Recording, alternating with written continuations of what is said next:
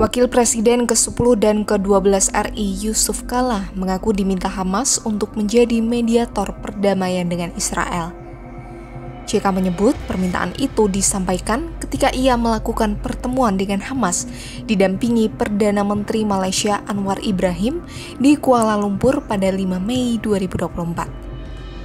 Terkait permintaan menjadi juru damai dengan Israel, JK memandang upaya mencapai perdamaian kedua pihak ini sulit dilaksanakan sebelum internal Palestina bersatu terlebih dahulu.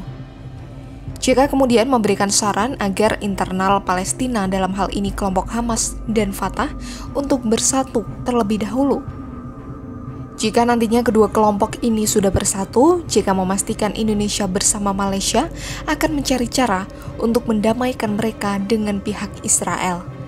Meski begitu, JK pun tak menampik jika upaya mendamaikan Israel dan Palestina tergolong sulit.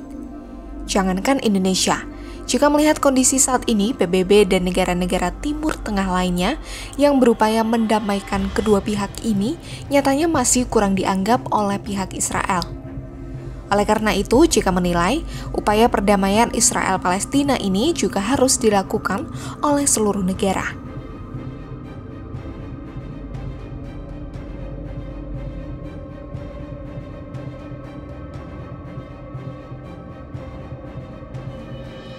Pada 6 Mei 2024, Hamas mengumumkan telah menerima proposal gencatan senjata yang diajukan Mesir Qatar untuk menghentikan perang dengan Israel di Gaza.